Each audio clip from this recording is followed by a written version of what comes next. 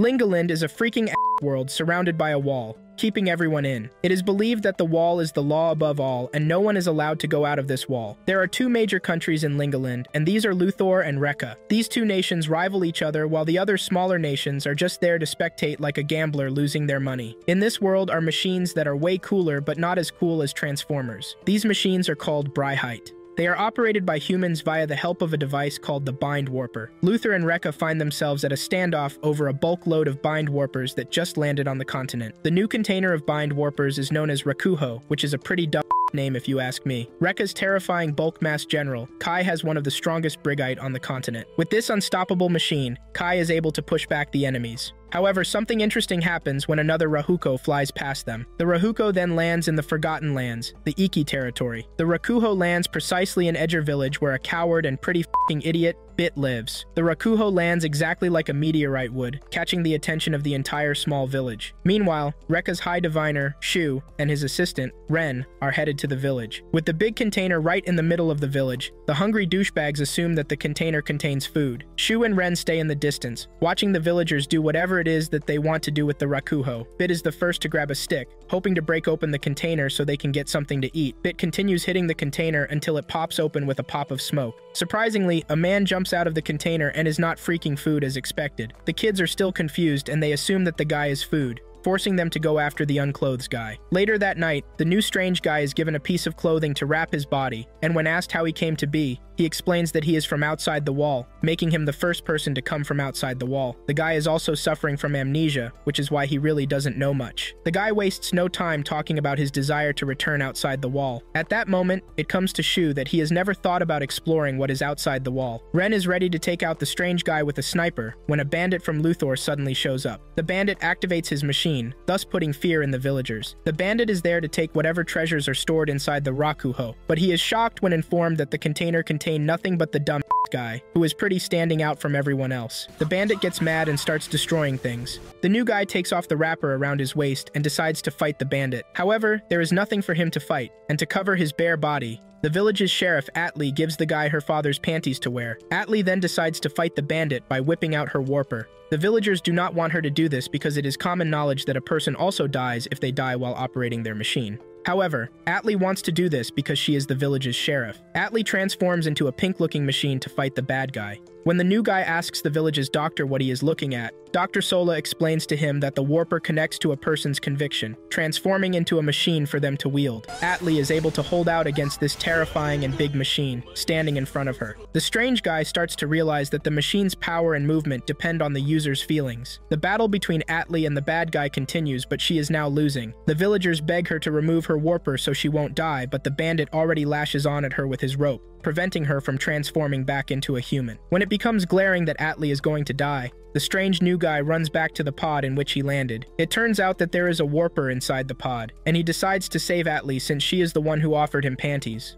The guy doesn't really know what he is doing, but he activates the warper, transforming him into a cool-looking blue machine. The guy takes the fight away from the village, and the moment he has the bandit all to himself, he punches him repeatedly, till his machine gets destroyed. However, something quite interesting happens because the bandit doesn't die even after his machine gets destroyed. The bandit gets on his motorbike and runs away before he is grabbed by the villagers. After his departure, the strange guy finally decides to give himself a name, and guess what? He chose the stupidest name ever. Out of all the weird freaking names available in the world, the guy decides to go with Back Arrow. Moments later, Arrow decides that it is time for him to leave for outside the wall. He activates his machine and starts heading to the wall. Not long after this, he gets exhausted because of hunger. He falls to the ground and returns to his normal self, and this is when Shu and Ren show up. Shu is fascinated with Arrow's intentions to go beyond the wall. Shu then tells him just how tall the wall is, and what it is going to take him to go over it. Since the guy is starving like a boar, he is offered meat, which he hungrily consumes. Shu then tells Arrow that he would like to help him, but before he can, he wants Arrow to wait a few days in Edger village. Since Arrow has no reason to doubt the guy, he decides to take him up on his deal. Later on, the villagers find Arrow in front of their door, sleeping like a baby. Some of the kids who saw what happened tell the elders that Arrow was dropped off by a weird lady.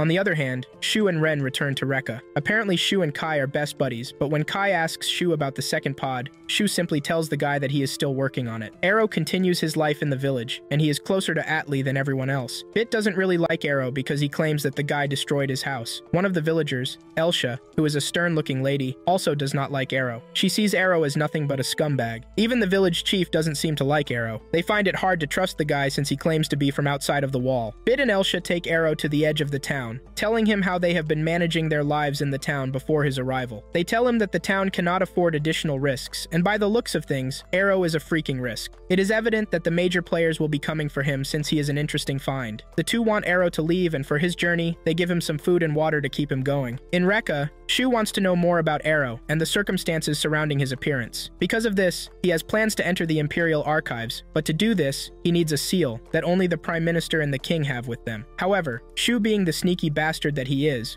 already has a copy of the seal with him. Also in Luto, the bandit who attacked the village gives his report. Now in Iki territory, the president is also making a play for Arrow, and this is because of pressure from Luther. Not long after this, the Iki military shows up in Edger, demanding that they surrender themselves and their households for a search. The squad leader is nothing but a scumbag, who actually likes violence but hides behind his military status. Once the villagers are asked where Arrow is and no one is able to produce him, the president orders the squad leader to wipe the village off the map. This is an order that the squad leader happily accepts because that is just who he is. Panic immediately erupts in the village, and when the squad leader activates his machine, Atli also does the same. However, Atli is no match for the guy as she gets bullied. In a desperate attempt for help, Elsha checks inside Arrow's pod, and luckily, she finds a bind warper. Without thinking twice, Elsha activates the warper. This transforms her into her own unique machine, and since she is the one who made Arrow leave, she is ready to defend the village. However, being her first time in such a machine, she finds it hard to easily control it, and ends up falling into the ground. The squad leader continues to wreak havoc, and just when Atli is about to lose her life, she takes off her warper, thus freeing her from her enemy's grip. Bit gets scared amidst chaos and runs toward the well to hide himself, but just when he is about to jump into the well, Arrow emerges from there, and Arrow reveals that he actually promised Shu that he is going to stay in the village for a couple of days. This is the reason he looked for a place to hide till Shu came and got him. Arrow then goes after the bad guy, who is busy wrecking the village. He activates his machine, and he gets into a standoff with the bad guy. Meanwhile, Shu is now learning about the village and the new guy, Arrow. At the same time, Elsha seems to have stumbled upon a hidden treasure located beneath the village. It takes Arrow a few seconds to dish out punishment to the guy disturbing the peace of the village. Arrow beats the guy up, destroying his battle machine. Just then, Elsha emerges from under the ground, and with Elsha is a large warship. This is a shock to everyone, but Arrow is just impressed with Elsha's latest pull. In Rekka, the military guys receive the new batch of warpers, and this is definitely going to give them an edge over their rivals, Luther. It turns out that the Emperor actually knows about the second Rakuho, and he tells Kai to inform Shu that he will be waiting for a report. After the meeting with the king, Kai goes to Shu to ask him what he is really doing. Shu is not ready to reveal his intentions and investigations just yet. Back in Edger Village, there is apparently nothing left of the village because of the emergence of the warship. Some of the villagers still do not like Arrow because they believe he is the one who destroyed their village. Even the village chief doesn't like Arrow. He thinks Arrow is living in a delusion about not being a citizen of Lingaland. Now that everything has settled down, the village does not think of beating up the squad leader, Tyrone, who causes chaos in the village. They think it is normal for them to allow the douchebag to run free. This gives Tyrone the time to get into Bit's head. Bit is the dumb guy, and Tyrone knows this, so he targets the guy for his evil plans. Later on, Arrow wakes up to find himself in bondage. Apparently, Tyrone has convinced Bit to convince the villagers to hand Arrow over to them. This is a shock to Arrow, who basically just saved them, again. Later that night, Atli shows up to save Arrow. She points a gun at Bit, telling him to untie the guy. Atli cannot believe that Bit is actually okay with sacrificing someone else just to save his skin. Atli sees Arrow as a savior who saved the village, but they want to throw him under the bus without thinking twice. Before Atli can get to save Arrow, Elsha shows up, pointing a gun at Atli. She tells Atli that Bit is actually right, because it is normal for them to sacrifice just one guy if it means the restoration of their village. Even though she is outnumbered, Atli is not ready to give in. However, Arrow cuts in, telling Atli that it is all fine. Arrow himself is ready to be sacrificed because he doesn't want anyone to suffer. Arrow seems like a chill guy who actually understands everyone's perspective about things. The following morning, everyone gets aboard the warship with a promise from the president that they are going to be given a new village to settle in as a reward for handing over Arrow. The ship lifts off the ground and heads out to its supposed village. Village. Arrow is locked in a cage while Tyrone walks about the ship in a very bubbling fashion. Atlee is still against the idea of them sacrificing Arrow, but everyone else just seems to be cool with it. Not long after this, the ship arrives at the location where the president is waiting for them. The president happily receives Arrow and also confiscates his warper. The villagers are shown a video of what their new home looks like, and this makes them really happy. When the president is asked what will happen to Arrow, he reveals that Arrow will be handed over to Luto. Just then, Bit begs Tyrone to enlist him in the military because he wants to serve. Bit knows Atlee now hates him, so there is no reason for him to go back to the village. Bit is trying to start a new path by redeeming himself, he believes. Just then, the president gives Bit a rope to pull, and the moment he does this, he realizes that it is nothing but an explosives trigger. The explosion causes the canyon to start collapsing on the ship, and Tyrone's men trigger the remaining explosives, burying the ship under a rubble. Bit is shocked to see this, and it finally dawns on him that they have been tricked. The president planned to wipe out the village, and Tyrone only deceived Bit because he is nothing but gullible. In a desperate attempt to right his wrong,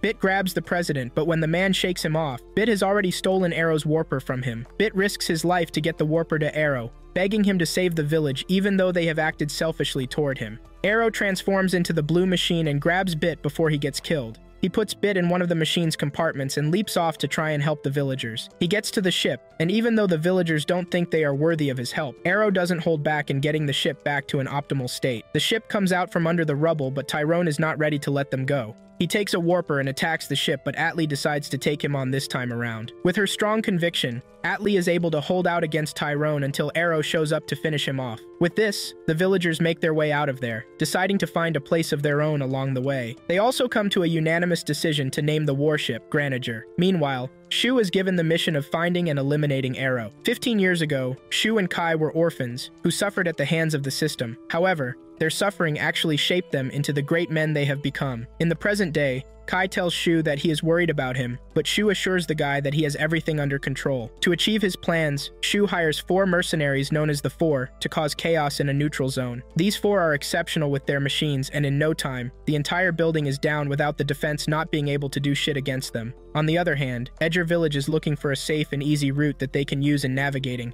The size of the ship is a factor that they need to look at when making their plans. Dr. Sola suggests that they pass through the neutral zone to avoid clashing with Luther and Rekka. While they are busy making plans, Shu and the Rekka army corner them. A pre-recorded message from the Emperor is played for the villagers, and they are informed that the army is there to wipe them out. The Emperor tells them that there will be no negotiation, which means the ship either finds a way to get out of the mess or freaking die. Since they now know their fate, Dr. Sola tells them about a region where they can actually pass through. Immediately, Elsha activates the ship and tries to bulldoze their way out of danger. The four mercenaries are with Shu, and it is time for them to shine. Shu withdraws the army so that the four can handle the ship. Shu then halts the ship's movement by activating a technology known only to him. The four are now face to face with Arrow and Atlee. While they are standing there, looking at each other like a bunch of fools, Shu pulls up. Arrow is shocked to see the guy because he was the one who told him to wait in the village and not go yet. After a brief and not so necessary introduction, Shu pulls out. He orders the four to eliminate the Arrow and his associate while at it. The four mercenaries introduce themselves before before taking on their opponents. Shu stands in the distance, watching the entire thing with excitement on his face. Ren realizes that Shu might actually have something else planned out, and she reminds the guy that the mission precedes whatever it is that he is trying to do. Shu replies by telling Ren that he is a genius, which means not everyone can understand him or what he is trying to do.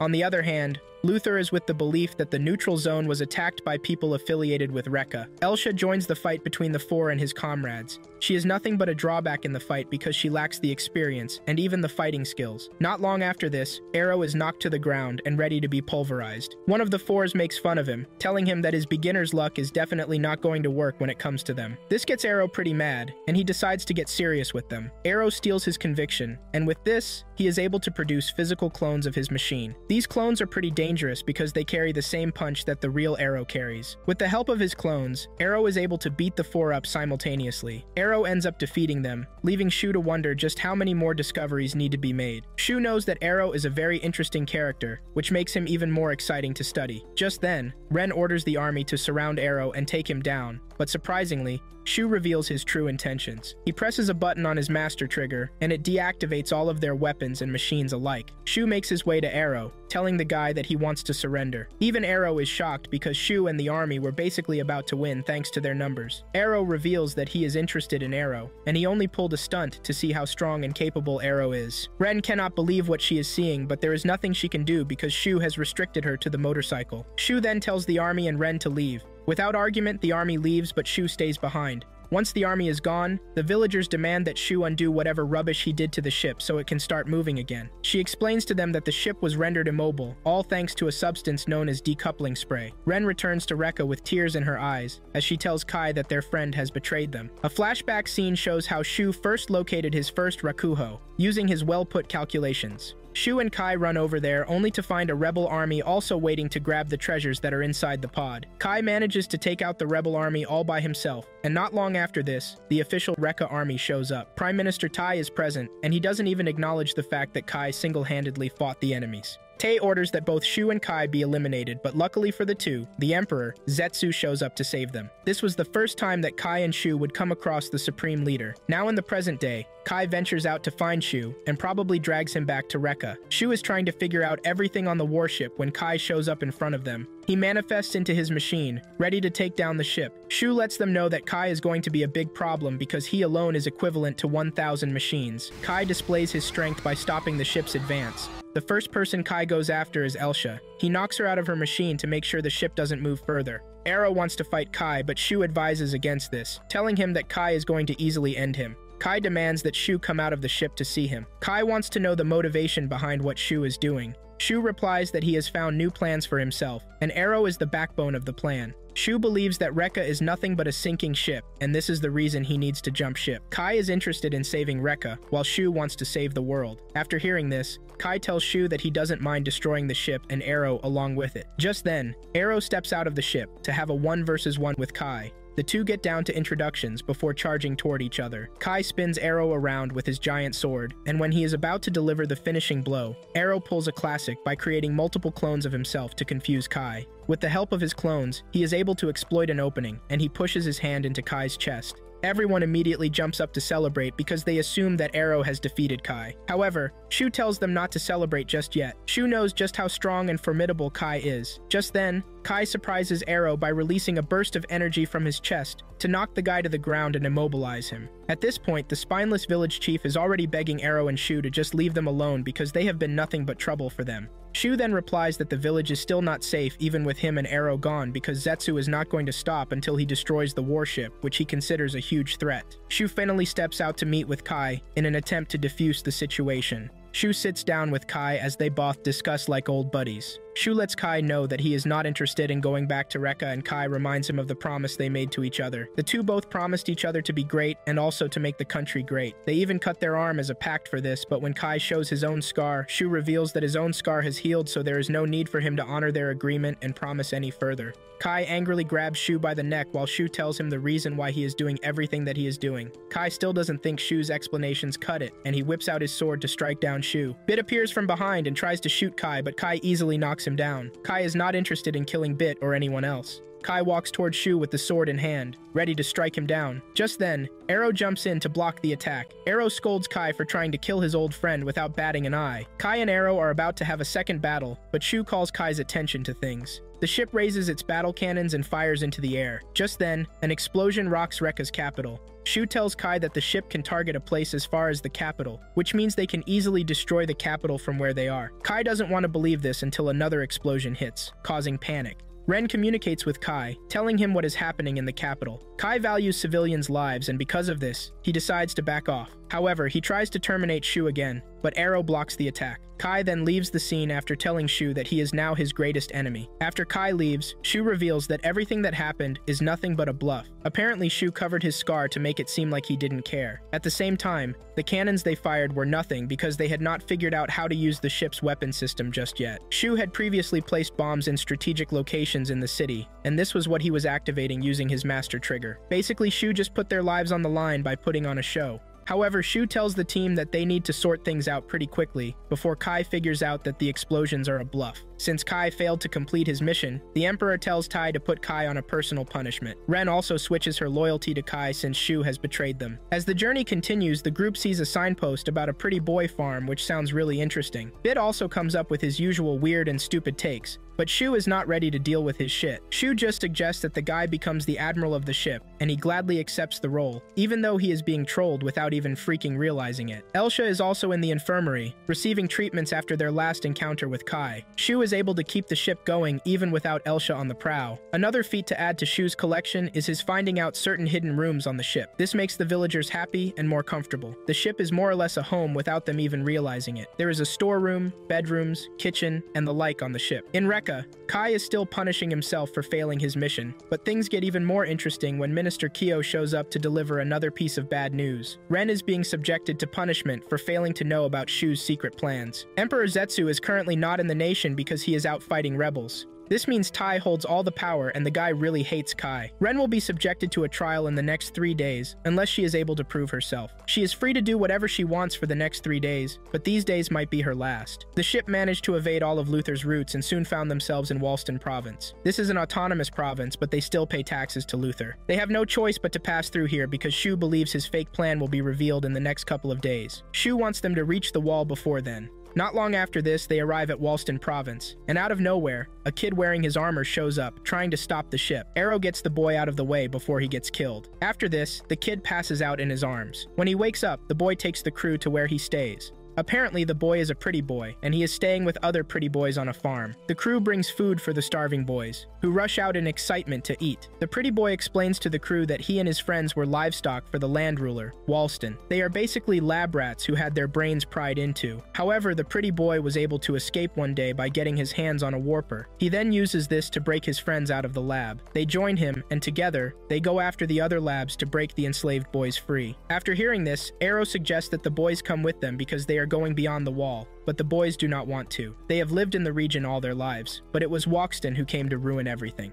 Just then, Walston shows up at the farm, and he is with his army. Arrow, being the troublemaker he is, decides to go after Walston, and possibly punish him for being a douchebag. Arrow easily takes down Walston's defense, but doesn't hurt Walston or his people. Arrow only chases them away, telling them never to disturb the pretty boys again. Later that day, the leader of the Pretty Boys tells Arrow that his conviction is basically to survive, and this is the reason he is kind of weak. Seeing how pathetic the boy looks, Arrow comes up with an idea. Arrow then decides to visit Walston at his castle. Arrow takes Shu and Bit with him to the guy's castle. Walston almost shits his body when he sees Arrow at his house. However, Arrow and Shu assure him that they are there to make a deal. Not long after this, the pretty boys are surprised to see Arrow with Walston. It seems Arrow, Shu, and Bit have decamped to Walston's side. Apparently, they need a map of Luther from him, and before he can do this, he wants them to help capture the kids, so he can continue experimenting on them. The ship's crew and the pretty boys are shocked to see this. Walston even brought all the warpers he has in his collection, just because he wants to get the kids back. The leader of the boys feels betrayed and angrily goes after Arrow. They release a smoke bomb into the area, blinding Walston and his men. Before he knows it, the pretty boys have stolen his warper collections. The kids transform into their battle form, and this is when Shu and Arrow reveal that everything is nothing but a farce. It was all a plan all along. Arrow wanted to push the pretty boys to stand up for themselves and stop being afraid. In addition to this, they now have warpers to defend themselves, which means Walston can no longer disturb them. As for the map, Shu had already memorized it when they were at his castle. After giving the pretty boys their freedom, the ship and its crew leave the following day. The ship continues its journey toward the neutral zone, and Bit thinks that it is a good idea if they name the Bryites. He already has a cool name for each Bryites in their collection. Shu then points out the fact that they are being followed by a Rekka general, Bai. Shu admits the fact that this general is nothing but trouble. However, he cannot attack them just yet because they are in the neutral zone. There is a treaty between Luther and Rekka not to conduct business on neutral soil. Shu is somewhat worried that Zetsu might be willing to break the treaty just to attack the ship. Just then, the village chief and some of the citizens reveal their desires to leave the ship, but Elsha tells the old man that they cannot stop the ship at the moment. They have no choice but to continue going forward. In Luthor, the princess condemns Walston for attacking Edger's battleship. Apparently, Princess Fine of Luthor, who is the ruler, is an advocate of peace, and she doesn't like anything violent. She scolds Walston but lets him go. Walston, being the dumbass he is, leaves the palace to start trash-talking the princess. Out of nowhere, the princess's personal guard, Commander Prax, shows up to cut his hand. Prax is a stern lady who doesn't tolerate nonsense. She tells Walston about respecting the princess and the consequences that come with not doing so. Two of the ministers, Peath and Baran, are tasked to bring the battleship to the nation without trouble, but they are having difficulties with this. Prax then decides to get on the mission by herself. When the ship arrives at the wall, they start making efforts to break it down, but nothing they have done so far has left even a tiny dent on the wall. Meanwhile, Ren is looking for clues concerning Shu's plan and all. Ren manages to remember something that Shu once told her, and with this, she is able to uncover the rest of the explosives that the guy has planted in the city. At the same time, Bai wants Tai to give him permission to attack the battleship, but Tay cannot do this since the ship is standing in the neutral zone. The Emperor is also not in the country to make such a hard decision. At the wall, Shu tries using the ship's cannon to blow the wall, but even the ship's powerful gun turns out to be totally useless against the thick and supposedly indestructible wall. Just then, a giant exhaust emerges from the wall, pushing the ship away from its location. This further proves to Shu that the wall is actually man-made. The ship gets pushed out of the neutral zone to Rekka's land, and this is what Bai has been waiting for. Bai wastes no time in seizing the opportunity to go after the ship. This guy also seems to be a superpower, as he is able to handle Arrow and his comrades at the same time.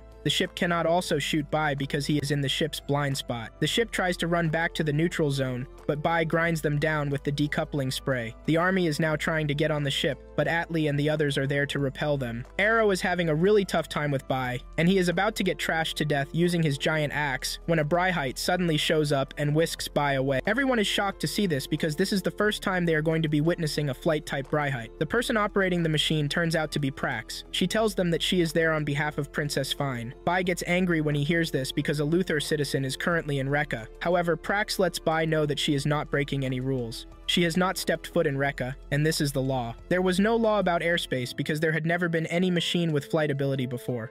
In the middle of this, Shu is able to get the ship off the ground and get it back to the neutral zone. Prax grabs Bai once again and throws him around till the ship and Arrow are able to get back to the neutral zone. Once this is achieved, Prax gently lands on her foot and warns Bai not to attack, because anything he does in the neutral zone will be an act of war. After everything settles down, Prax reveals the reason why she is there. It turns out that Princess Fine wants Arrow and the ship to come to Luthor. She has promised them safe passage because she is interested in them. Shu immediately agrees to the offer because Luther is known to be a leading nation when it comes to scientific advancement. However, Arrow says he is not interested in going because all he wants to do is destroy the wall. Since Arrow is not going, Prax tells them that only the ship will make do, but she will be back to convince Arrow. Apparently, Sola will also be staying behind with Arrow. Now in Rekka, Ren tells Kai about the bombs, and how angry she is that Shu probably sees her as nothing but a puppet. Kai and Ren have now made Shu their biggest enemy, and they cannot wait to bury him. On their way to Luthor, Shu explains to the crew how Luthor is operated.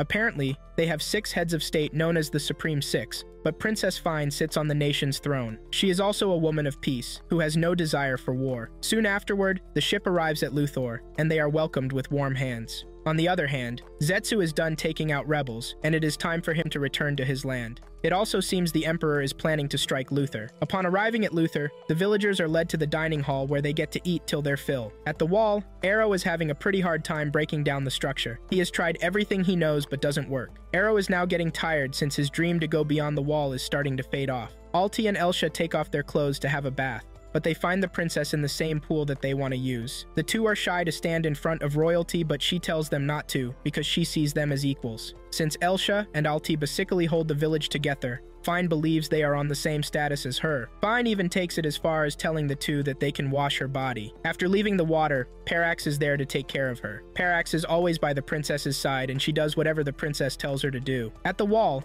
Arrow is now missing his friends, but he has Sola as his company. Even though he misses them, he still wants to break the wall, so he can use that to apologize to the villagers. Just then, Prax appears out of nowhere, and she grabs Arrow. She tells Arrow that she is taking him to Luthor whether he likes it or not. Prax's conviction is her devotion to the princess, and this is the reason she is going to do whatever it is that the princess wants. Arrow gets mad and manifests into his armor in an attempt to stop Prax from forcefully taking him to Luthor. Arrow is able to grab Prax by the neck, and he orders her to fly him to the sky since she has the flight ability. However, there are things that Arrow doesn't know about the sky, and Prax is ready to show him. Prax flies Arrow to the sky, but to his surprise, there is a defense system put in place to shoot people down. Prax explains to Arrow that they are locked in this world and someone really doesn't want them to leave. Even after seeing this, Arrow is still not ready to follow Prax back to Luthor. However, Prax decides that it is time to force the guy. She beats him around, trying to weaken him, but in the middle of this, a Rakuho pod flies past, and Arrow decides to use this to get away. In Luthor, the ministers are trying to get Shu to turn over Rekka's secrets, but Shu has something else in mind. Shu tells the ministers that he is aware of the flight ability that Prax now uses, but he is also very sure that she is the only one who can. However, Shu is ready to help Luther hand in hand so that they can mass produce the Warpers. Prax chases after Arrow, and she manages to intercept him before he can even get away.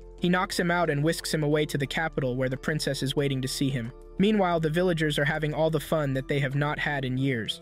After Shu is done making a deal with the ministers, he tells them he needs to head to the ship to get Rekka's map that they asked for. The monsters then give him two escorts to follow him, but Shu already has something in store for them because he doesn't trust the ministers. Bit is hiding on the ship, and he manages to distract the guards while Shu knocks them out. On the other hand, Arrow is now strapped to a slab in a laboratory. It seems Luthor is just not who they seem to be. The mad scientist who is to work on Arrow has a lady watching over him. The lady dresses like Prax but has a mask over her face. The scientist plans to dig into Arrow's head and brain to figure out why he is able to operate the machines even without a conviction. He pushes electrodes into Arrow's head, and to his surprise, there really is no conviction. Arrow screams out in pain, asking Prax why she is doing what she is doing. Meanwhile, Shu and Bit have been able to locate the lab. Shu points to a red button that Bit needs to shoot if they are to free Arrow from his bondage. Bit needs to pull this off, or else Arrow is gone. Just when the doctor is about to plug the electrode into Arrow's head, Bit manages to hit the red button, freeing Arrow from the slab. Arrow jumps from the slab and plugs the electrodes into the scientist's head instead. Shu drops a smoke bomb, giving them the chance to run away from the room. However, the masked lady chases after them.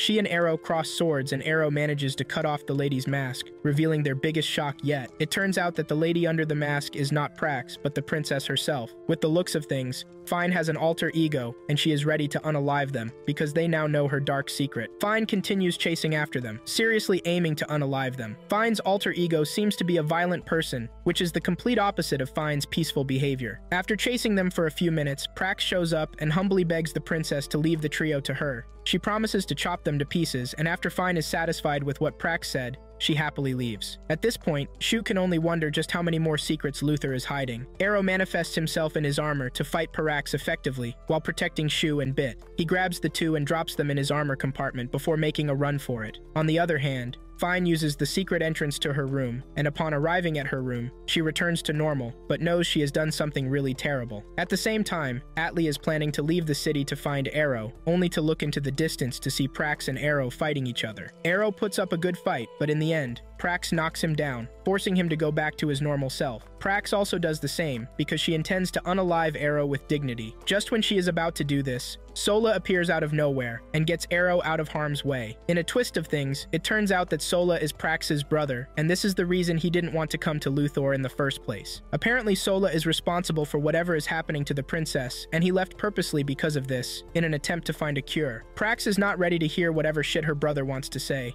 She is about to come after the poor guy, but Sola gets them out of sight using a flash screen. They escape to an abandoned building on the outskirts of the town. This is when Sola tells them the story behind Fine's incident. Fine was always a cool and happy girl who had the dream of inventing a kite so she could ride on it. Not long after this, Fine was able to invent the kite, and while riding the kite with Prax, Sola accidentally shoots them down, believing that they were being attacked by a bird. They crash landed, but the princess made it, and not long after this, she was chosen as the Princess Supreme. After she was enthroned, her split personality showed up, but Prax and Sola kept it a secret. Even when Sola tried to tell someone else, Prax warned him not to. Sola later tries to tell the ministers, but Prax shows how serious she is when she poisons Sola. Sola managed to live, but this showed him just how dedicated Prax was to the princess. That very day, Sola escaped from the city, and he became a doctor in an attempt to cure the princess. Now in Rekka, Zetsu is preparing to invade Luthor. The first thing he does is to free Kai from prison, since he has served enough punishment for his sins. After this,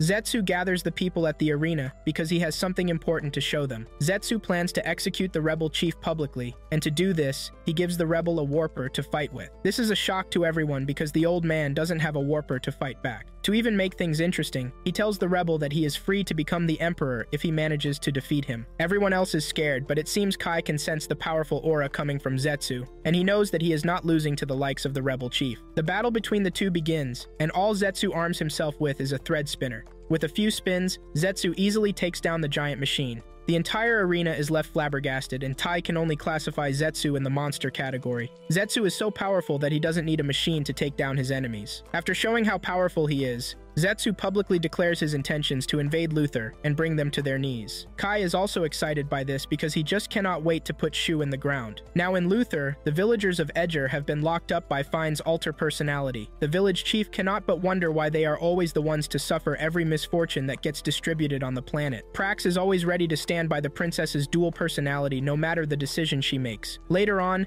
Zetsu sends a war message to Fine, but the message meets her violent alter ego, and she immediately accepts the challenge. Rekka will be invading Luther in three days' time, and the princess tells Zetsu and his army to bring it on. Immediately after this, Fine contacts her mad scientist, telling him to prepare everything they have so that they can meet Rekka head on. Fine's dual personality showcases itself in front of the ministers, and finally, they know the secret that Prax has been hiding so badly from everyone. Fine's violent self takes over fully, making it hard for the peaceful personality to even switch back on. The whole country goes on full mode alert in preparation for the war. Sola learns about the new development when in town, and when he goes back to the Hidut, he tells the trio about this. However, Shu figures out that he was followed, and before he even finishes his sentence, the building is attacked by a Brihite. Before they start running for their lives, a girl dressed as a clown shows up, and with just a gesture, she sends away the machine. Apparently, the clown works for someone quite powerful, and she takes them to her boss, who lives in a clownish home too. Sola knows who they are going to meet, and upon entering the house, they come across a big, overfed man who is still eating upon their arrival. Sola tells the trio that the man they are looking at is the Elect Supreme. Apparently, he is the most powerful man in the nation. Arrow arrogantly walks toward the man, but this is when the man's aura explodes like a bomb, showcasing just how powerful he is. The Elect Supreme tells the team that he is quite aware that he is strong, but he himself doesn't know the true extent of his power. Inside his house are the other princes and princesses who are not picked for the throne. Instead of killing them, he just keeps them in his house as slaves. Just then, the Elect Supreme tells the team something quite big. It turns out that his blood was transfused into Fine when she got into the kite accident, and this is probably the reason she now has a dual personality. The man had never said anything about this before because no one had asked. On the other hand, Fine has gathered the villagers to the arena. Fine wants Elsha to fight or swear loyalty to her. Since Elsha is the only one who can make the battleship move, Fine wants her defeated or better still, chopped off her legs. Elsha also has no choice but to fight because the villagers will be terminated if she doesn't. After leaving the Elect Supreme's residence, Arrow and the other two get attacked by the military, who are after them. Elsha proposes a deal for the villages to be released if she wins the duel. The princess doesn't want to accept the deal, but Prax manages to convince the princess since she is confident that Elsha can never beat her in battle. The battle between the two begins, and Prax is nowhere near Elsha's level when it comes to power and everything else. When Arrow gets trapped by the military, Arrow being the ever-evolving person he is, finds a way of escaping the military. At that moment, Arrow's machine develops wings, and he flies out of there with Shu and Bit perfectly tucked away in the machine's compartment. Prax is dishing out punishment to Elsha and is about to finish her off when Arrow bursts into the arena and knocks Elsha to the wall. Everyone is shocked to see Arrow flying, and this is just one of the amazing things he has done since he has surfaced. Arrow wants to take on Prax, but Elsha refuses. She wants to be the one to finish the fight without anyone interfering. Arrow understands where she is coming from, but instead of leaving her to her own, Arrow transforms into a sword and presents himself to Elsha. With this sword, Elsha gets an advantage in the fight. Fine wants to stop the battle, but Prax refuses, telling the princess that her honor as a knight will become sullied if she does that. Elsha and Prax jump into a heated battle that almost brings down the arena, but with the help of the sword, Elsha is able to destroy Prax's suit. Fine screams out in pain, believing that Prax is dead. This forces out her peaceful personality, but thankfully, Prax is safe because she was cut by Arrow's suit. Fine is happy to see that Prax is safe, but just then, the evil Fine takes over again. Fine is not ready to honor the agreement that they had before the fight. Fine grabs a warper so she can finish the job by herself. However, this is her mistake because the peaceful Fine is able to overpower her evil self while she is trying to transform. The good vibe uses the warper to finally seal her evil self, never to hear from her. Once everything settles down, Fine suggests that Edger Village leave so that they don't get dragged into the war, but the villagers refuse. They are ready to help Fine and Luther in the war against Rekka. Back in Rekka, Zetsu mobilizes his army, and he personally leads them out to battle. The mad scientist is busy working on the warpers, but now he has Shu to help him. He wants to figure out how Arrow uses the suit without conviction, and when he is not looking, Shu steals a bunch of warpers. At the same time, the princess is worried that the nation will be destroyed if they manage to lose in the war. However, Atli and Elsha assure her that they are not going to lose. At the war meeting, Shu tells the War Council that Zetsu and his army are going to invade Luther at their strongest point. Shu knows Zetsu will want to show the world how strong he is, and the reason he needs to be the one ruling. This is the reason he is going to want to enter Luthor, where it is considered the most difficult and impenetrable. Shu assures them that Zetsu is going to want to take the head on. The princess takes this into account, and she tells her officials that the fight they are about to take on is a war to save their nation. Later on, Prax scolds Sola for being a spineless idiot. Sola has given up on his will as a fighter ever since he shot down the princess. However, Prax tells him to redeem himself by fighting in the war about to come. Once the war meetings are over, everybody heads out to their posts. Arrow, Shu, and the warship are posted to the least protected area that leads into Luther. Shu knows Zetsu will also post Kai to this region, and he is already hoping that they run into each other. Shu's dream to make Arrow the leader of this world still stays valid, and everything he is doing points in the direction. At the Viola Canyon, which is Luther's strongest point, the Rekka army shows up, and a fierce battle erupts. Bai and some other powerful generals are the first to lead the way. Luthor has powerful beams to resist the enemies, and Prax is leading the charge. Not long afterward, the ship runs into Kai and Ren, who are both aiming to teach Shu a lesson. Arrow jumps out of the ship to engage Kai, but his opponent ends up being Ren. Ren is boiling from anger, and she wants an opportunity to take Shu out. Ren is fighting overzealously just because she wants Arrow out of the way. The Rekka army also tries boarding the ship, but this is not possible because the ship's defense is now active. As the fight between Ren and Arrow continues, Arrow shows her just how evolved he has become by escaping her wrath, thanks to his clones. He flies off and manages to get to Kai before he gets to the ship. Arrow grabs Kai and throws him into the air giving the ship the chance to hit him with multiple shots. Shu's plan is to weaken Kai so he won't be able to fight. This plan works out pretty well as the ship's cannon is able to deal a great amount of damage to knock Kai to the ground. Arrow is about to end everything when Ren comes dashing in like a mad woman. Arrow hits her and destroys her suit instead. However, Ren has something else in store. It turns out that she already strapped explosives to her body just because she wanted to take out her enemy so badly. However, Arrow is able to get to her before she can press the trigger. Ren tries unaliving Arrow by using a knife. Arrow gets the upper hand, and he knocks Ren to the ground and starts to scold her. Arrow calls her a self-centered person for trying to terminate herself just because she is following orders. Arrow throws her to the ground, transforms back into his suit, and morphs into a sword. Arrow then presents himself to Atli to use. With the sword, Atli takes out the entirety of the army platoon in the area. Both Kai and Ren have been defeated by the ship's crew. The ship flies past them, but there is nothing they can do about it since they are basically fighting for their lives. When Zetsu realizes that Prax is making waves at the battleground, he steps forward and throws a powerful spear from where he is. The spear is strong enough to break through Prax's defenses and impale her to the wall. After immobilizing Prax, Zetsu calls off the battle for the day, telling his army that they are going to resume the next day. On the ship, Shu berates Arrow for not killing Kai because it might ruin their plans, but Arrow reminds Shu that Kai is his childhood friend, and if he kills him, it will only haunt him in the future. At Rekka's first aid tent, Kai screams out in pain when he realizes that he just failed yet again. Up next, Shu tells Atli and Arrow about everything that he has learned concerning Warpers so far. He wants them to fight smart because they will soon clash with Rekka's army. They plan to come from behind and attack the enemy in an obvious pincer move. While all of this is going on, the citizens of Luther begin to protest against the war. They are scared that they are going to lose the war and then die after. To quell this unrest, Fine has no choice but to address the people and assure them that Luther is not going to lose to Rekka. The princess lets them know that Luther has the advantage, and after hearing what the princess has to say, the citizens go back to their daily activities. At Rekka's camp, Ren is putting her all into training. She wants to become the best version of herself, so that the next time she fights Arrow, she will come out on top. While she is in training, Zetsu shows up, and because of Ren's claims to take Shu down, the Emperor decides to test her. He binds her and throws her into the water, leaving her to make her own choices. Ren is so determined not to die until she kills Shu. She manages to grab a tree vine with her teeth to prevent her from swimming away. Kai also hears some soldiers walk by his recovery room,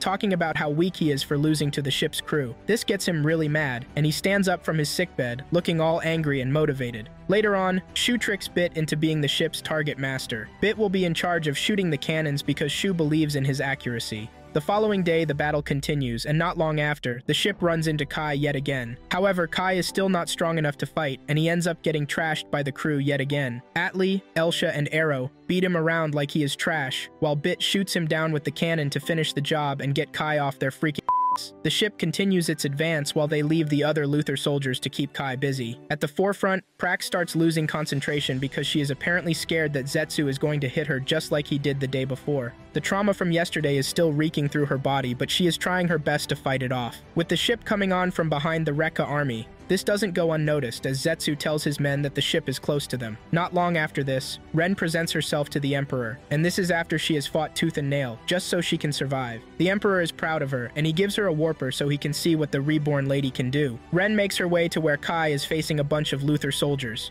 He is about to be overpowered when Ren arrives to take them out. Ren saves Kai from an imminent death, and this is when Kai realizes that Ren has changed. It turns out that Ren's suit also has wings now. Ren wants to take Kai with her, but he refuses. Kai believes that he should be left behind since he now sees himself as nothing but a burden. The once invincible general is getting beat up by a bunch of peasants, Kai thinks. However, Ren, being the stubborn person that she is, continues to fill Kai's head with motivational talks about how he is not supposed to give up. After saying everything she can, Kai regains his spirit to fight. Ren then morphs with Kai, turning them into one giant monstrosity. Ren now serves as Kai's wings, giving him the ability to reach places he couldn't before. At the forefront of the battle, Prax is about to lose her life when the ship shows up just in time. The ship's cannon fire saves Prax and knocks her opponent out of the way. Bit is getting better with every shot that he takes with the cannon. Things get complicated when Kai shows up on the scene. He now has wings all thanks to Ren, which means Arrow has no choice but to engage Kai. Kai goes crazy with his new motivation and starts knocking everything out of place. Even Arrow gets thrown out of the way when he tries to stop Kai. Elsha and the ship also get hit by Kai's immense power. Kai turns to Shu and tells him that he is going to kill Arrow so Shu can finally come back to his senses. He blames Arrow for everything that has happened to Shu so far. Since Kai has gotten stronger now, Arrow believes that there is no reason for him to also hold back, which means the two are about to get into an intense and fierce battle. While Arrow is battling it out with Kai and Ren, Atli and the others are getting trashed by Rekka's generals. Prax soon shows up to support Arrow while other Luthor generals also appear to help Atli and Elsha. Prax and Arrow come up with the idea of leading Kai and Ren into the sky's defensive system. Kai and Ren get hit by the defense system, but as usual, Kai easily breaks through. In no time, they have Prax and Arrow on the run again. As the battle proceeds, Rekka gets the upper hand with Luthor suffering lots of casualties. To make things worse, the battle starts to project over Luther for all the citizens to watch. The person behind this is unknown, but it is definitely going to be a mood killer for Luther citizens to see their access being handed over to them by Rekka. The Elect Supreme, Rudolph then shows his face, telling Fine that he is responsible for projecting the war video. He claims he is showing the citizens what is going on on the battlefield to let them know what it means to be at war. For Rudolph, he claims to be entertaining the citizens, since war is the best form of entertainment that is available. At this point, Luther ministers realize that they need to put up a good fight before their citizens start to lose faith in them. Just then, a warper rolls up to Fine, and a not so terrible idea comes to her head. The fight between Arrow and Kai now has Kai get the upper hand. Kai and Ren beat Prax and Arrow around the battlefield like they are in training. Tensions are high, and those in Luther are seriously worried. It now seems Luther and Rekka are at a stalemate while on the front lines. Fine picks up the Warper and decides that she is going to the battlefield to help her people. The ministers are worried that Fine's alter ego is going to take over, but she assures them that she can keep her in place. Arrow leads Kai to the sky again, trying to explain to him that they are all trapped in this world. Arrow lets him know that the wall was put in place by someone, and Arrow tries his best to lay it out, that Shu is just trying his best to know what is beyond the wall. Even after all the explanations, Kai is not ready to listen. Kai goes after Arrow and knocks him to the ground, ready to eliminate him so that Shu can finally let go of all the supposed stupid notions that are filling up his mind. Kai beats Arrow up like he is nothing, and even Shu is now worried. He remains mute while he desperately tries to find a solution to the problem. Arrow has his back on the ground as Kai picks up his giant sword to end him. Just then, the sky opens and Fine emerges from there. Fine gently lands in between Kai and Arrow. Fine is radiating in the color of love, which is pink, and she is ready to take on Kai. The enemy aims at Fine and tries to shoot her down, but she simply absorbs everything without taking a single damage. Fine understands everyone's pain, and she tells Kai that she has only one job, and this is to protect her citizens. Fine releases rays of love from her body, and immediately, all of her comrades who are wounded get healed up. Kai tries going after her, but Arrow is now back to his optimal state, and he is able to easily defend the princess. Everyone is wowed by the princess's abilities, and those watching back home have their faith restored. The moment Zetsu notices that Fine is on the battlefield, and she is lifting the morale of her soldiers, Zetsu decides that it is time for him to also go to the front lines. To manifest his armor, Zetsu has to wear at least 10 warpers just to contain his conviction. Zetsu transforms into his armor and shows himself on the battlefield. Fear grips everyone when this happens, but it even becomes worse when Zetsu spreads his hands to release a burst of energy that disintegrates mountains. Just one action on the battlefield, and Zetsu almost wipes out his enemies. This shows everyone just how strong the ruler of Rekka is. Once the dust settles, Zetsu is standing right in front of Fine. Zetsu has been waiting to fight Fine for ages, and he now has the perfect opportunity to do so. Arrow and Prax try to intervene, but Zetsu just throws them away like they are nothing. Zetsu goes after Fine and starts hitting her with powerful blasts just to try and push out her alternate ego. Zetsu manages to succeed with this, and the real person he wants to fight shows herself to Zetsu. Zetsu wants the crazy part of Fine,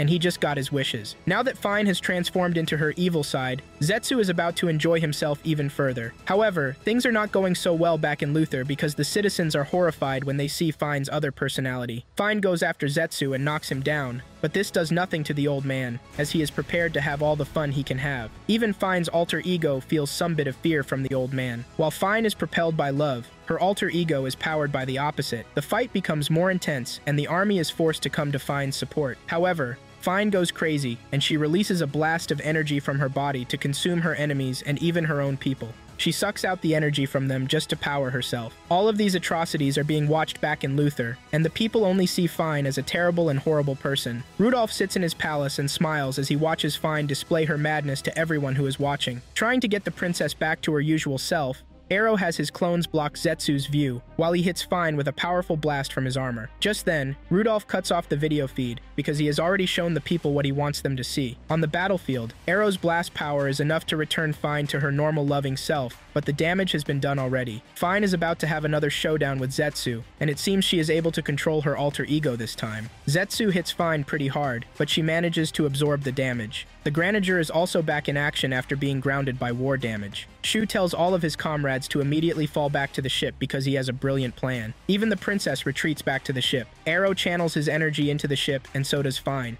The ship prepares to fire its cannon, but Zetsu is not worried. He is confident that the ship doesn't have what it takes to bring him down. However, Zetsu realizes that he might actually be wrong when the ship opens a big hidden cannon located below the ship. With the energy from Arrow and Fine, they release a burst of energy that destroys the enemy's warpers. The only suit of armor standing after this is Zetsu himself. Being the influential leader that he is, Zetsu still orders his men to fight even though they have no armor. The soldiers pick up their swords and charge toward the ship, even though it means ultimate death for them.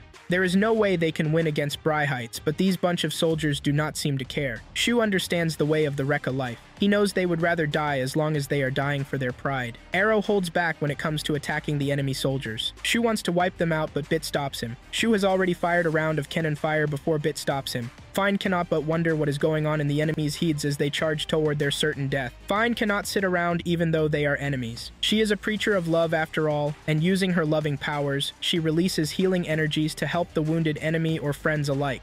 Even with this level of compassion, Zetsu doesn't seem to care as he still orders his men to continue with the attack. Fine is determined to show everyone that her love radiates above everything else. Fine pushes herself to the limit to unleash a burst of love energy that falls on Zetsu and his men. Surprisingly, Zetsu is healed from Fine's influence. His armor breaks apart, and the moment this happens, Zetsu accepts defeat. He tells his men to give up on the fight because Fine and Luther have won. Once everything settles down, Fine and Zetsu shake hands so as not to attack each other again. Zetsu and his men then pack their things and leave Luther. Fine addresses her soldiers, telling them to prepare for a better future. Prax grabs Fine, and they head back home. Fine wants to use her victory against Zetsu as a pacifying point for the already angry citizens. However, Fine returns home to meet rejection from her people, who now see her as nothing but a vile creature. They even throw trash and stones at Fine, forcing Prax to get her out of there before things get even worse. On the other hand, Atli is moody because she didn't do much during the battle, but Elsha points out everything nice and awesome that she did without even realizing it. To even make things worse, the citizens of Luther now have warpers, and when Fine asks the scientist how they got their hands on the warpers, he claims that the lab was robbed, leading to all their warpers getting stolen. Fine,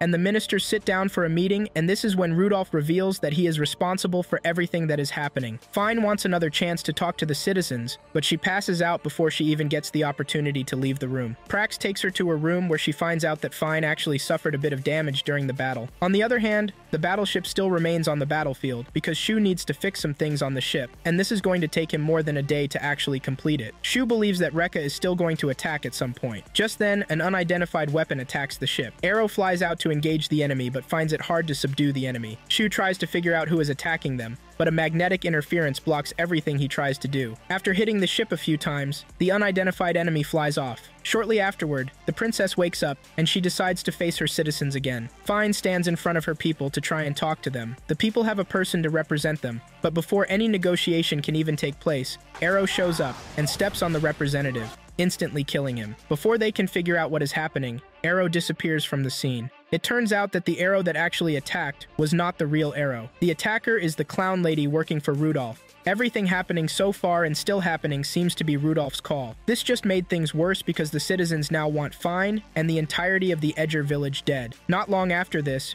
Rudolph transforms into his presentable form and presents himself to the people. Since he is the supreme elect, he tells the people that Fine is no longer fit to rule. He revokes Fine's status and tells the people that they are free to do whatever they want with Fine. The angry mob tries coming after Fine, but the guards hold them back. Fine is still telling the guards not to harm anyone when they get overrun by the mob. Prax immediately jumps into action, ready to take out whoever is brave enough to touch Fine. However, things turn to absolute shit when the ministers show up to tell the people that they are in support of whatever Rudolph is doing. In fact, the ministers want Fine to be executed. Prax is not ready to have this, and just as she is about to get Fine out of there, the clown shows up and knocks her to the ground. The clown also has her own special armored suit, which looks absolutely terrifying. Sola runs to where Rudolph is to try and stop him from whatever shit he is pulling with Fine in the country. When Sola asks Rudolph why he is acting as a villain, Rudolph replies that the divine being doesn't want peace. In a turn of events, Rudolph has been pulling the strings from the start. He was even the one who made Prax and Fine look like a bird, causing Sola to shoot them down from the sky. Sola gets angry when he hears this, and he transforms into his suit of armor. Sola tries to take on Rudolph, but he is nowhere near Rudolph's level, and he is forced to run away. On the other hand, Fine is about to be executed by the guards when the real Arrow shows up to get her out of there. Even though Fine wants to stay back to talk to her citizens, Arrow refuses because he knows that it is of no use. The clown tries to follow Arrow, but Prax intercepts her. Sola makes his way to where the Edger villagers are holed up to try and rescue them before the guards get to them. While Sola is rescuing the villagers, he is attacked by the military. Even with a big pole hanging off his back, he manages to save the villagers. However, several more poles are thrown into him to knock him down. Arrow and the princess show up to get rid of the attackers. It is too late for Sola already since he is severely injured. Sola dies right in front of the princess, and with this, Fine just lost someone precious to her. Sola's death also means Prax is about to be thrown into a state of grief. The military shows up on the scene, but the Granager is also present. The ministers demanded that Arrow hand over Fine, but at that moment, Atli declares that the village is no longer any nation which makes it an independent nation. The new nation is known as Granager United, and Fine is under their protection. Atli lets the ministers know that any form of violence against them will be treated equally. Once Atli makes this declaration, Rudolph pulls his people back, telling them to let Fine go. Upon returning to the ship, Atli is crowned the queen of the new nation. Rudolph only allowed them to leave because he wanted more nations because more nations meant more wars. Everything is going pretty well in the new nation, and they now grow their own crops on the ship. Invitations are sent out for the nation's signing day, which is going to take place on the ship. Arrow and Shu will not be present for the ceremony because they have businesses to attend to in Rekka. Nation leaders and their representatives soon start to arrive at the ship for signing. Fine still remains an important person because she is now a counselor for Granager United. All the nations present are to come without weapons or their military, because it is obviously a diplomatic gathering. However, the president of Iki secretly comes on the ship with a weapon. Luther's minister Peeth is shocked when he finds out that the entire armored division serving under Prax has defected to Granager United. Peeth is pained to see this, but there is nothing he can do because his actions against Fine can also be considered treason. All the nations, both small and mighty, are present on the ship. Even the pretty boys are now an independent nation, and they are present for the ceremony. Present on the ship is a strange guy hiding under a hood. Now in Rekka, Arrow and Shu arrive in the nation while the generals are having a training session. Kai is holed up in the royal library, looking into the secret notes, and he seems to have seen a piece of important information. Ren is not happy to see Shu and Arrow. Her first instinct is to attack Shu, but Kyo tells her to back off. Shu is there on a diplomatic mission, and attacking him simply spells war. When Shu asks after Tai, he learns that the man has run away from the country. He has packed all of his fortune and escaped to Luther to work for Rudolph. Shu sits down to make a deal with Kyo. Shu wants Rekka to give Granager a certain part of Rekka's land. In exchange for this, Granager will not be attacking Rekka. This sounds like a very outrageous deal, forcing Ren to attack Shu from behind. She holds Shu at gunpoint, but Shu doesn't look scared a bit. Kyo figures out that Shu is not scared because he has another card up his sleeve. It turns out that Shu still has bombs in the city and he can easily press the trigger. Once he reveals his trump card, Ren has no choice but to slip up, giving Arrow the chance to go after her. On the ship,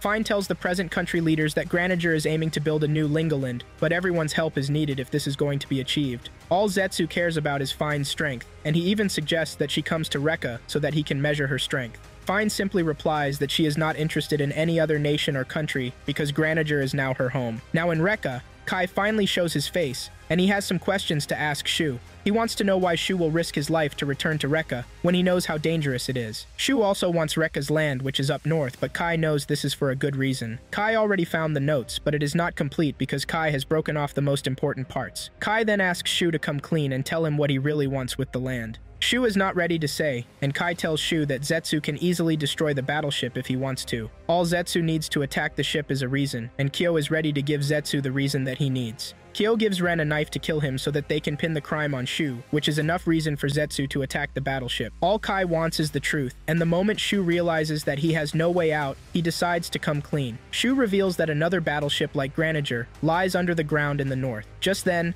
the country is attacked by a flying warship, confirming that Shu is not lying. This warship is being operated by the defector Tai. As usual, Rudolph is also behind this, and this is just another one of his games. The news of the attack has reached Zetsu and everyone else on Granager. Bit and Elsha run into the strange hooded guy, who tells them that the ship has been invited to come beyond the wall. He is affiliated to a group called the Lin Faith, and the founder wants the ship beyond the wall. Zetsu immediately leaves to defend his country, and possibly unalive Tai, who has been a thorn in his flesh. Tai's attack on Rekka just ruined the signing ceremony. Arrow tries attacking the flying battleship, but he is basically powerless against it. Arrow is informed about the strange guy talking about the wall, and he is forced to retreat back to Granager. Tai continues to attack the soldiers, and he demands that the nation swear loyalty to him because he has conquered them. Arrow arrives at Granager, and the messenger tells him that the founder has requested that the ship come to Epitaph Mountain. When asked how the ship is to cross the wall, the messenger assures them that they are going to be invited. Arrow is also going to find out who he really is when he gets beyond the wall.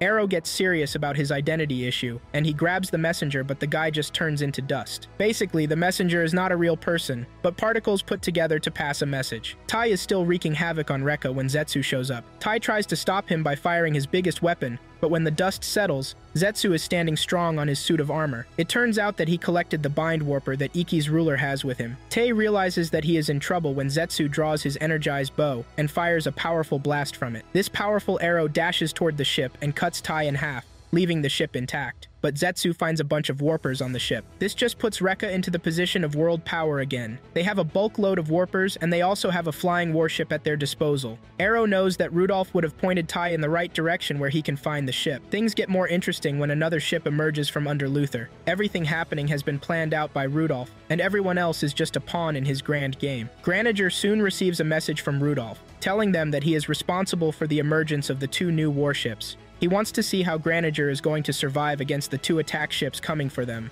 To know Rudolph's gameplay, Arrow agrees that they honor the Founder's invitation and go beyond the wall. Since Rekka and Ludo can't even touch them beyond the wall, it is a bonus for them. Once everyone is in agreement, they begin their journey to the wall. Three days later, they are almost at the wall, but Luther's battleship is right behind them. Luther's battleship is intimidating, and they even got the annoying choir singing just to put fear in Granager. Luther's ship wastes no time in firing a shot at Granager, but they narrowly miss. However, the next shot is a direct hit, but nothing really serious happens to Granager. Luther then deploys its military to go after Granager. Peeth is throwing everything into the battle to make sure Arrow and his people do not make it to the wall. To keep the flying soldiers away, Prax flies to engage them. Prax is more than effective as she easily decimates the enemies. Unknown to Peeth, Shu has a card up his sleeve. Luther's ship is baited into coming real close. Just when Luther's ship is in firing range, the Granager does something absolutely unexpected. It changes posture and stands tall like a transformer. Once it is in a vertical position, the ship taps into Arrow's energy and fires a powerful blast that takes down the entire military force. Even those on the ship lose their warpers, and the ship comes crashing down. They manage to get Luther off their back, and the next thing is to go beyond the wall. The messenger shows up again and tells them to head directly for the wall. Trusting the guy, the ship heads for the wall, and just when they are about to hit the wall, the wall gives way, allowing them to pass through. As they pass through another layer of wall to get to Epitaph Mountain,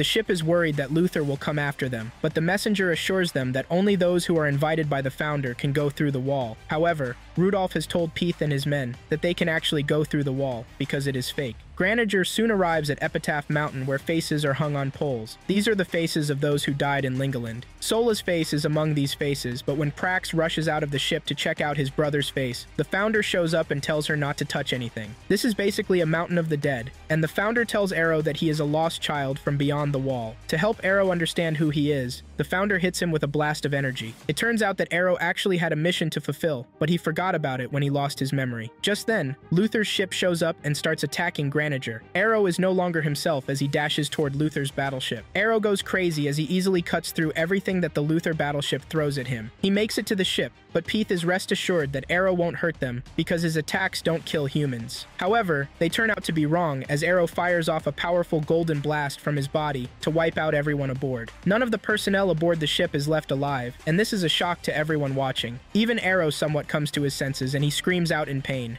Arrow tries to fight whatever spell is affecting him, but he finds it difficult to do. Just then, Rudolph and his assistant, the clown, show up. Rudolph explains that the arrow they are looking at is the real arrow. Apparently, Arrow was sent by the divine to wipe out Lingaland. It is a surprise that Rudolph already knows all of these, and has been the one pulling the strings just to mess with everyone else. Rudolph explains to the crew that he was chosen by the divine being to correct whatever mistake that is going on in Lingaland. Rudolph is no human because he is basically working for the divine. It turns out that all the battleships hidden in Lingaland were actually put there for Arrow to use. He is considered the destroyer of worlds, but Arrow doesn't want this title. He tries hard to break free of whatever is controlling him so he won't have to take down the Granager. He then begs the ship's crew to shoot him down, so he won't do something he is going to regret. Atli tries reasoning with him, telling him that he can actually fight whatever is controlling him. Arrow doesn't think he has a chance this time around, because as long as the ship is functional, his power will continue to grow. The crew turns to the super genius Shu, asking what can be done. Shu then comes up with the idea of shooting the Luther battleship, with the hope that it is going to stop Arrow. Arrow puts himself in the perfect position to be targeted by the cannons. Atli and Prax engage the clown to make sure that she doesn't interfere in their attempt to return Arrow to his normal self. The ship manages to pull this off by hitting Arrow pretty badly with their cannons. Once the dust settles, Arrow flies away from the scene. The ship tries to return to the mountain but gets trapped by a layer of walls. They start looking around the ship for anything that can help them. They stumble upon the pod that brought Arrow. Shu immediately becomes excited because he knows he has found something that can actually help them. While the crew is stuck in a boxed wall, Arrow is walking about, outside the wall, trying to find a way to remove his warper and get out of the armor. The warper controls him, not giving him a choice whenever he sees an enemy. Shu has been able to acquire a warper from Arrow's pod, and he is working with this. They are confident that they are going to escape because Rudolph would not have boxed them in if there was no chance of escaping.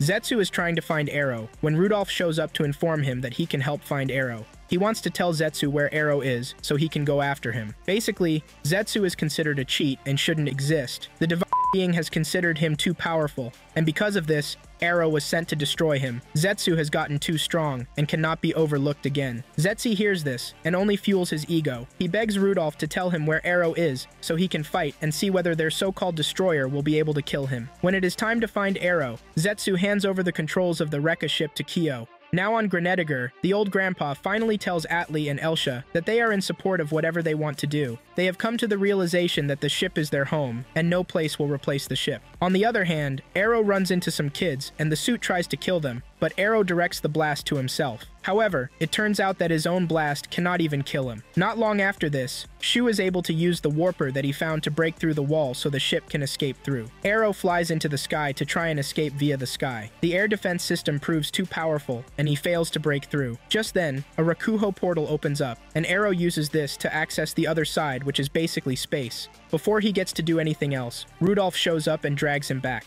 He smashes him to the ground, causing a loud explosion. This is visible to both ships that are after him. Granager contacts Zetsu, telling him to back off a bit and let them handle Arrow. Shu tells Zetsu that he needs to bring Arrow back to his senses. It is evident that Arrow is Rudolph's puppet, but Shu is trying to change that. Shu is able to sweet-talk Zetsu into agreeing to allow him to fight Arrow. However, Zetsu lets him know that he is going to release his full power and crush Granager if they manage to defeat Arrow. Once they are on the same page, the ship goes after Arrow. They plan to use Fine's love energy to hit Arrow and break him free from whatever hold Rudolph has on him. The ship uses its big cannon to hit Arrow, but this doesn't freaking work on him. Fine then decides to personally engage the guy. Arrow tries to eliminate her, but it doesn't work. Fine's alter ego takes over, and she hugs Arrow pretty tightly, using her energy to consume whatever bad thing Arrow has living in him. She is able to do this, but at the expense of her life. By the time she is done, Fine's alter ego disappears. Arrow finally loses the evil suit, leaving him to pant like a dog. Everyone is relieved to see him back to normal, but things go sideways again when Shu approaches him. Shu shakes Arrow only to vanish from whatever power resides inside of Arrow. The clown shows up, telling Arrow that the suit might be gone, but the power remains inside of him. No matter who he touches, he is going to end up killing them. Arrow screams out as he watches Shu turn to dust right in front of him. The clown is basically built to frustrate Arrow's existence. She latches another warper onto Arrow's hand, forcing him to manifest the suit again. Arrow goes after the clown but doesn't leave a dent. However, the clown has finally managed to anger everyone close to Shu and Arrow. Kai manifests his armor and comes after the annoying Kai and Ren combine to beat up the clown for killing their friend. Shu and Kai might have gone their separate ways, but their love for each did not die. Kai and Ren are able to take down the clown, and Kai uses the opportunity to raise Rekka's flag to show everyone how dominant they are going to become. Now on Granager, they are trying to hold on to each other now that Shu is gone. Shu is the genius who figures everything out, but he is gone now. Not long after this, Prax takes two of her men and heads to Luther to find Rudolph. Rudolph doesn't seem scared or moved by whatever threat Prax is spewing. Rudolph even manages to get Prax mad by telling him everything that he did to Fine and Sola. Prax gets really mad and goes after Rudolph, but all Rudolph does is push Prax away with his finger. Rudolph is basically like a mini divine with the way he handles both Prax and her men. He beats them around so effortlessly and could have terminated them. However, he is only toying around with them to make them suffer. Rudolph is about to unalive Prax when Arrow shows up on the scene to save her. Arrow demands that Rudolph bring everyone back and also return him to his normal self. Arrow threatens to use the destructive beam on Rudolph if he doesn't do as said. This is quite interesting to Rudolph because he wants to see if Arrow's death beam can really end him. However, Arrow finds out that he cannot attack the man because he basically works for him and Rudolph works for the divine. Just then, Zetsu joins the party. He hits Rudolph with a powerful blast that destroys everything around him except Rudolph himself. Zetsu also has all of his generals ready to fight Rudolph. Rudolph directs Arrow toward the bunch to try and wipe them out, but Zetsu is overpowered. He is able to block Arrow's destructive beam and even hit the guy. Zetsu tries to hit Rudolph with his blasts, but Rudolph blocks them. Zetsu and Arrow end up facing each other and Zetsu threatens to kill Arrow if he doesn't stop protecting Rudolph. Arrow gladly welcomes death, telling Zetsu that he is free to kill him so that he is going to stop being a threat. Arrow knows Zetsu is powerful enough to do this, and this is the reason he is begging him. Zetsu calls Arrow a hopeless person who gave up because Shu is gone. Zetsu then shows the boy just how overpowered he is when he grabs him. Zetsu is able to absorb all of the destructive beams that are holed up inside of Arrow. Even Rudolph is shocked to see this, and this just proves the more reason they need to terminate Zetsu. Arrow transforms into his sword version so Zetsu can wield him, and probably get the chance to unalive Rudolph. Zetsu's body is disintegrating every second, but he is powerful enough to rebuild his body. Once Rudolph sees how powerful Zetsu has become, he decides to get serious too. Rudolph uses a warp to manifest his armor, and he even connects it with a bigger one, making him look like a freaking Megazord. Rudolph is ready to do Arrow's job for him since he failed at it. Rudolph starts unleashing his powerful blasts to wipe out anything it touches. Even Zetsu's generals are gripped by fear, because they have never come across a more dangerous opponent. Things are not going too well until Fine shows up and uses her power to heal everyone who has been hit by Rudolph's blasts. Even Rudolph is frustrated at this point, and he starts wondering why Fine is going against the divine wishes. Zetsu and Arrow then tell everyone to back off so that they can fight Rudolph. However, they all get caught up in a storm. Just then, Bit stands above the Granager, telling them that he has a warper that has been built by Shu. This is a warper that contains power from the three nations, and Bit is confident that it is going to work. Bit manifests the warper, which turns out to be a giant warper. Bit then combines the warper with Granager, giving it a power boost that breaks through the storm that Rudolph created. Shu had previously talked to Bit about this, Shu knows that Bit's conviction is pretty strong, which makes him the best for the job. Bit's conviction helps him to rely on everyone, and with this, he is able to help Granager become more powerful. Rudolph can feel the new boost of power as he gets beat up. Zetsu continues wielding Arrow in an attempt to break Rudolph's defenses. Rudolph soon breaks away from the major suit to give himself more freedom. Arrow figures out that the cables attached to Rudolph feed him his power, which is why they need to sever them. Everyone gathers around to go after him all at once, but even with this, Rudolph remains strong. Anytime the group gets hurt, Fine heals them with her love power. Rudolph doesn't think Fine can actually keep this up because he is human after all. The fight becomes more interesting when Zetsu and Arrow take on Rudolph head-on. As the battle continues, Bit comes up with the idea that the Granager combine with Rekka's warship. Thanks to his manifest armor, they are able to achieve this. The newly combined ship is now called Gran Rekka. It turns out that Shu already planned this ahead, which shows his ingenuity. Zetsu is now using too much power to go after Rudolph, but he doesn't mind. Mind. Zetsu is ready to disappear as long as he takes Rudolph with him. In the process of this, Zetsu has even used his power to wear off his old face, giving rise to a younger version of the guy. Zetsu fires a powerful arrow into Rudolph, thinking it is over, but Rudolph pulls the Uno reverse on them.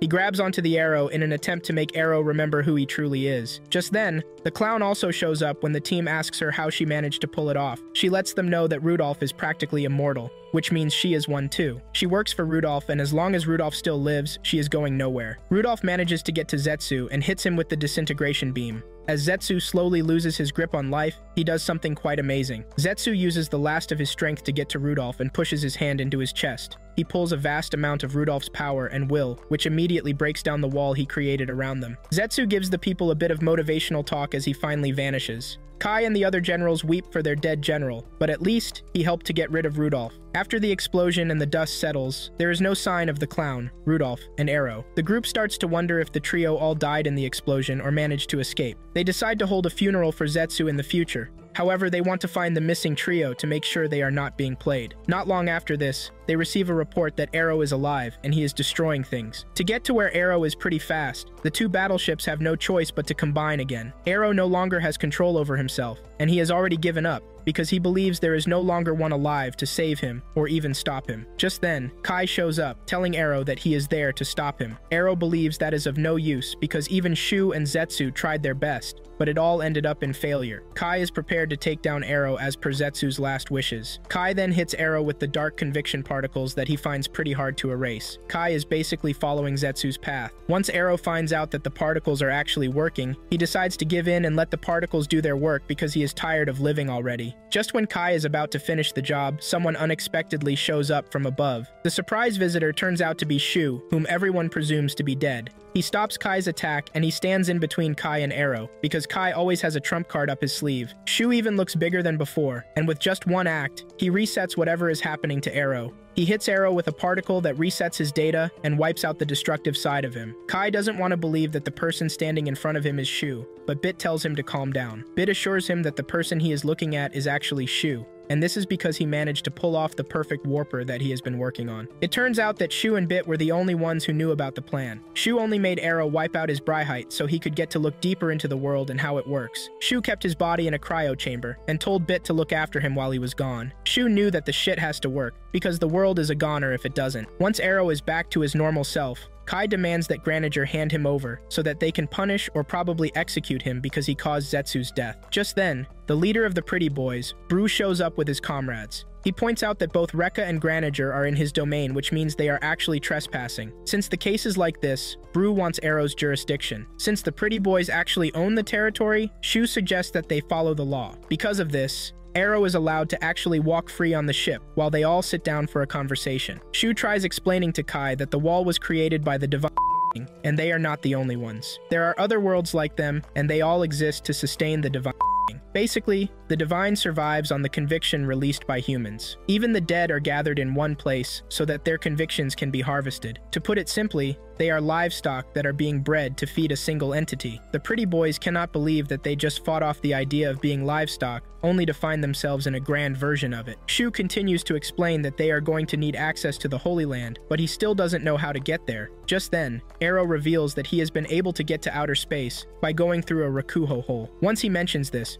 Shu realizes that they can also get it done if Arrow has done it before. They plan to head to Epitaph Mountain where the convictions are being sent out. They are confident that they are going to have access to the Rakuho holes once they are on the mountain. This is the first time the nations will be coming together for an alliance. Their aim is to reach the divine and since they are all going to benefit from it, they have no choice but to come together. Arrow is still worried about the fact that he lost his memories. He wants to know why he is adamant about going beyond the wall. Arrow is feeling the guilt of everyone that he killed, and the moment Kai sees this, Kai scolds him. They need Arrow, but he sees him as pretty useless as of the moment. To retrieve the arrow that they actually need, Kai decides to beat some sense into him. Kai then challenges Arrow to a fight, and Arrow gladly accepts. They step outside to fight, but Arrow doesn't have a sword with him. Kai charges toward him with his giant sword, but Arrow is able to dodge the attacks. As the battle continues, Arrow finally realizes why he is actually fighting. He comes to his senses and realizes that he is still alive because of the people he cares about. Kai changes the weapon to Zetsu's terrifying light weapon, He tries hitting Arrow with this, but at that moment, Arrow realizes himself, and this gives him the strength to grab the sword with his bare hands. Arrow boldly tells everyone that he is no longer the destroyer, but he has now achieved the status of a savior. Even if he was sent to destroy the world, Arrow has evolved past his task, and he now wants to save it. With Kai's help, Arrow is able to realize who he really is and put everything that has happened behind him. Atli and the others are happy to finally have Arrow back. Everyone celebrates with him, but at this moment, Shu sees right through Kai and realizes that he is a good person with just a stubborn heart. When it is time for the ship to leave for their expenditure to find the divine the civilians are left with the pretty boys. Only essential personnel and those with combat experience are cleared to leave. Before they leave, Shu has a heart-to-heart -heart conversation with Kai. During the conversation, Kai figures out that Shu is hiding his scar to make it seem like he doesn't care. The two finally get to put their differences aside and look forward to the great future that they have always wanted. The two ships combine and proceed beyond the wall, they get easy access to the wall because there is really no need to block them out since they now know the truth. When they get to the poles covered with human faces, they observe a minute of silence for the dead. Just as they are about to reach the mountain, it comes crashing down. Surprisingly, Rudolph emerges from behind the mountain, letting them know that the mountain is no longer needed, and the fact that he is basically an immortal. Rudolph is not there to play around, and he is ready to wipe out Lingaland. Rudolph opens a Rakuho portal that releases drilling machines into the ground. To further destroy their hopes of winning,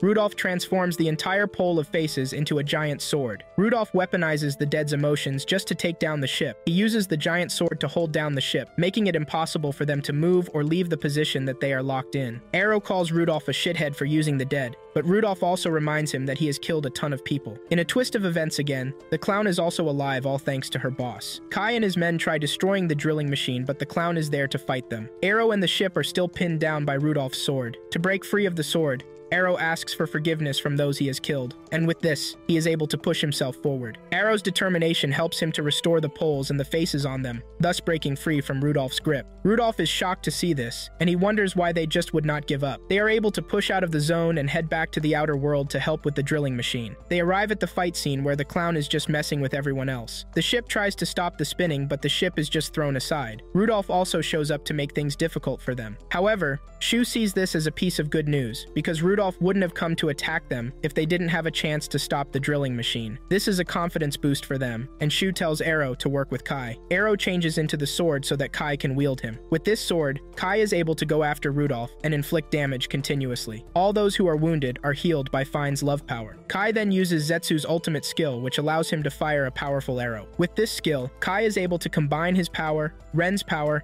and Arrow's power to take out the drilling machine. However, Rudolph opens another portal, ready to release another machine. It turns out that the world-killing machine will just continue to respawn no matter how many that they manage to destroy. Just then, Shu tells Kai to strike through the machine while it is still in the portal. This is going to be a win for them, because the portal is connected to space, and this is where they have been trying to access. Rudolph tries to stop them, but he fails. Kai creates a hole through, giving the ship to fly through. The rest of the warriors engage Rudolph to keep him from following the ship. Rudolph gets angry and promises to wipe everyone out. The clown cannot be happier to hear this because she is ready to support Rudolph in whatever he does. Once they are in space, the ship ends up destroying the entirety of the world-killing machines to make sure none of it is sent back to Lingaland. Once the machines are out of the way, the ship sees a way through to the Holy Land. They plan to break through the wall so that they can meet the divine their first attack falls off pretty badly, and just then, a strange man appears from behind the wall. The man transforms into his suit or armor, and he looks just like Arrow. It seems the final enemy is going to be a copy of Arrow himself. Meanwhile,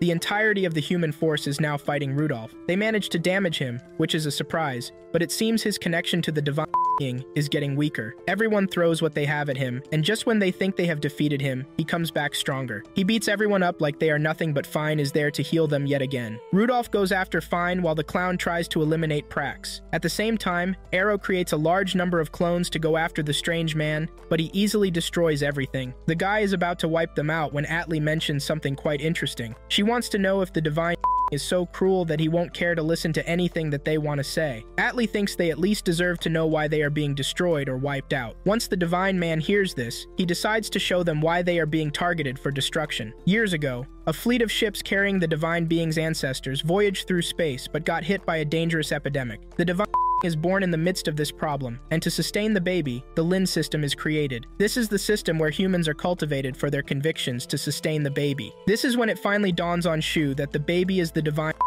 while their world was only created to sustain the baby. Arrow was sent to destroy Lingaland because they were already advancing more than they should. Even after hearing all of this, the group is not ready to give up. They still try to take on the Divine Man in an attempt to defeat him. The Strange Man then renders them pretty powerless by removing the entire conviction in the area. Their ships are left scattered and their suits useless. Just when Rudolph is about to unalive the princess, Fine's Alter Ego and Zetsu shows up. This is a shock to everyone, but the presence of these two immediately changes the game. These are pretty crazy and powerful at the same time, which gives Rudolph a really tough time. It turns out that the two are able to come back because their data have not yet been sent as energy after they died. However, the two are still nothing but data at the moment. This doesn't stop them from beating up Rudolph with the support of the warriors. The entire group comes together and launches Rudolph and his puppet into the Divine Realm to finish them off. To even put the two into use, they are converting them into conviction energy to be used by Arrow. Their energy arrives just at the right time, giving them just what they need to come back to the fight. The ship comes back together to give the Divine Man a fierce fight, but they are soon surrounded by a bunch of Terminator machines.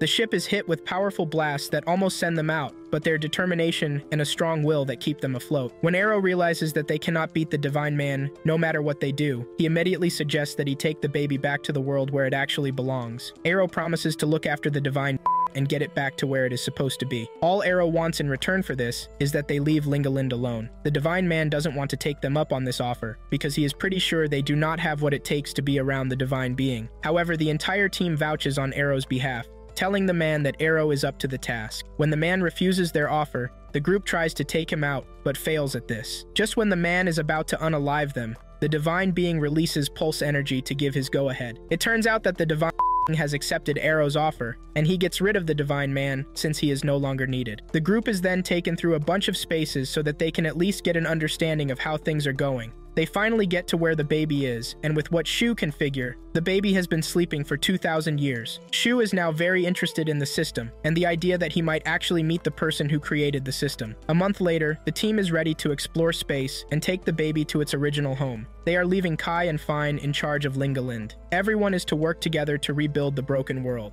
The series ends with a group fixing the land while the other is in charge of taking the divine to where it belongs. Thanks for sticking around till the end of the video. Remember to smash that like button and subscribe for more awesome content. Got an anime you're dying to see recapped? Drop it in the comments and we'll make it happen. Catch you.